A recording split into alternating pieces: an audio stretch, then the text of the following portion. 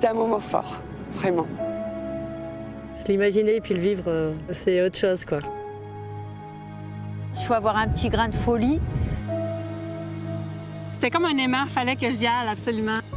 3, 2, 1, top Bonjour à tous. Aujourd'hui, nous partons à l'aventure avec Julie et Séverine qui vont nous présenter le trophée des Roses des Sables. Bonjour Julie et Séverine. Alors, pour commencer, déjà une petite présentation très rapide du trophée Rose des Sables. En quoi ça consiste? Qu'est-ce que c'est? Quel est l'objectif de ce trophée? Je vous laisse savoir laquelle de vous a envie d'en discuter un petit peu avec nous. Donc euh, c'est un rallye raid humanitaire. Donc euh, on va parcourir 6000 km au Maroc. Euh, avec des denrées alimentaires non périssables pour la Croix-Rouge, du matériel scolaire et médical pour l'association Les Enfants du Désert. Et après avoir déposé ce matériel, on va parcourir les dunes marocaines pour faire une course d'orientation. Voilà. Très bien. Et finalement, quelle a été votre motivation première pour participer à ce projet? Qu'est-ce qui vous a amené à en venir là, à ce moment précis? Alors moi, en ce qui me concerne, c'était un rêve d'enfant. Euh, je suis dans une famille de passionnés d'automobile, donc euh, tous les 31 décembre, on passait euh, notre nuit au départ du Paris-Dakar à Versailles, puisque avant ils partaient de Versailles. donc je m'étais dit un jour je ferai ça. Et, finalement, ce rallye-là, euh, le Trophée Rose des Sables, est un rallye 100% féminin. On est à peu près 300 femmes à participer à ce rallye raid. Euh, et en plus, il y, a du sens derrière, puisque, puisqu'on dépose un certain nombre de, colis humanitaires aussi pour les populations locales. Donc, euh, tout était réuni pour, pour pouvoir le faire. Et puis, c'était le bon moment de ma vie, en tout cas, pour pouvoir mener ce projet. Une envie depuis longtemps. ouais, une vieille envie. Julie, de votre côté? Eh ben, Séverine m'a demandé, on est amies euh, et voisines euh, dans la vie. Euh, elle m'a demandé, moi je, je, suis pour l'aventure, le défi, les choses qui sortent un peu de l'ordinaire. Donc j'ai dit oui tout de suite. et, la famille a suivi. Très bien. Donc finalement, c'est quand même un trophée qui demande pas mal de compétences, notamment en mécanique, mais aussi en orientation. Donc est-ce que vous avez eu un un parcours particulier personnel qui fait que vous avez ces compétences, mais est-ce que vous avez aussi été coaché, accompagné pour, euh, pour justement vous lancer dans l'aventure?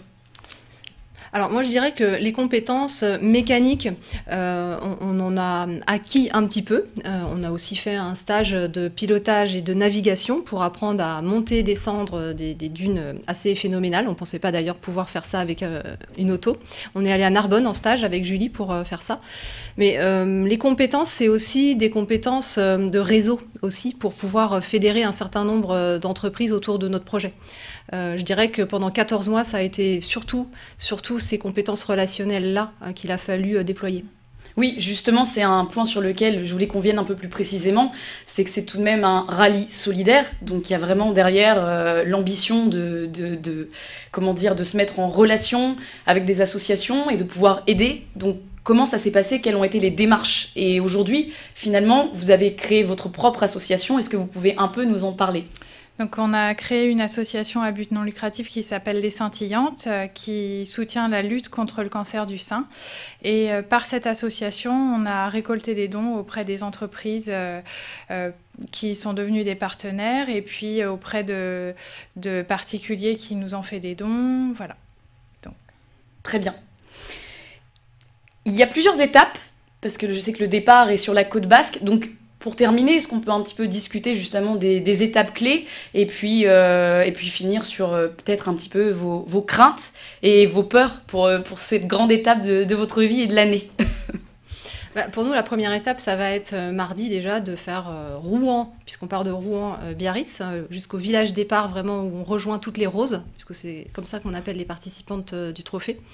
et ensuite, on va partir pour l'Espagne, on traverse toute l'Espagne, on prend le bateau à Algeciras avec le 4x4. on traverse la Méditerranée, Tanger, et là, les, les spéciales, je dirais, sur piste ou sur dune vont commencer pendant entre 8 et 10 jours pour arriver à Marrakech. Donc c'est vraiment le- la partie quand vous êtes quand vous arrivez dans le désert, il y a ce qu'on appelle le marathon, c'est ça? En 48 heures, euh, de ce que j'ai pu comprendre. Donc est-ce qu'on peut en savoir un petit peu plus sur ce marathon en Bah, totale autonomie? On a des étapes où on rejoint un bivouac le soir et on a des étapes où on est en totale autonomie sur 48 heures, où il n'y a pas de, de bivouac organisé et où on doit s'orienter de jour comme de nuit. Donc là, euh, l'aventure totale. Total. Ok. Et vos craintes, vos peurs pour finir pour ce grand projet? La seule crainte euh, que j'ai, c'est une panne mécanique euh, qu'on ne pourrait pas euh, réparer sur place ou qui nécessiterait de faire venir une pièce d'Europe et ça nous bloquerait pour finir le rallye. Donc impossible, rallye terminé pour vous Rallye si quelque terminé. chose comme ça Mm. arrive. Mm. Séverine, des craintes? Euh, on s'est préparé un petit peu physiquement parce que bah, ça se voit, on a la quarantaine hein, toutes les deux. Donc euh, voilà, Euh, on s'est un peu musclé, gainé, etc. Mais moi, ma crainte, c'est plutôt d'avoir un, un très gros mal de dos parce qu'on va faire à peu près euh, 10 heures de voiture tous les jours. Voilà, du, du 15 au, au 27 octobre, hein, c'est les dates du rallye. Et voilà, j'espère que le, le- le physique va tenir. Et à côté, pour finir sur une note un peu plus positive, certes des craintes, mais aussi des objectifs. Hein, quel est le réel objectif de toute cette aventure pour vous? Des, des paysages magnifiques euh, et des belles rencontres. Séverine? Oui, moi, euh, c'est vrai que j'attends déjà du lâcher prise parce qu'on a des vies euh, assez euh, trépidantes. euh, voilà, euh, les, femmes, et puis euh, notre cadre de vie fait que.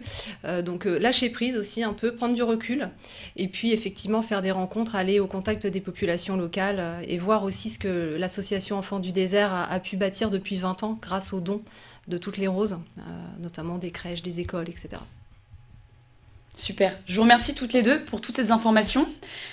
On va bien évidemment suivre Julie et Séverine tout du long de cette aventure, puisqu'effectivement, elles vont pouvoir euh, nous faire parvenir des vidéos lorsque le Wi-Fi permettra cela. Et puis, euh, effectivement, où est-ce que d'autres lecteurs, d'autres personnes qui nous voient ici peuvent suivre vos aventures au quotidien? Alors, ils pourront nous suivre sur la page Facebook que l'on a euh, créée, Séverine Julie Les Scintillantes, où on essaiera de mettre à, à peu près tous les jours des photos et des commentaires. Et également sur le site officiel du Trophée Rose des Sables, la course en direct. Eh bien, merci beaucoup Julie et Séverine pour toutes ces informations. Tout le long de cette aventure, nous pourrons suivre les filles qui vont nous envoyer des vidéos. Et bien sûr, on se retrouve tous ensemble dans 15 jours pour débriefer de cette fabuleuse aventure.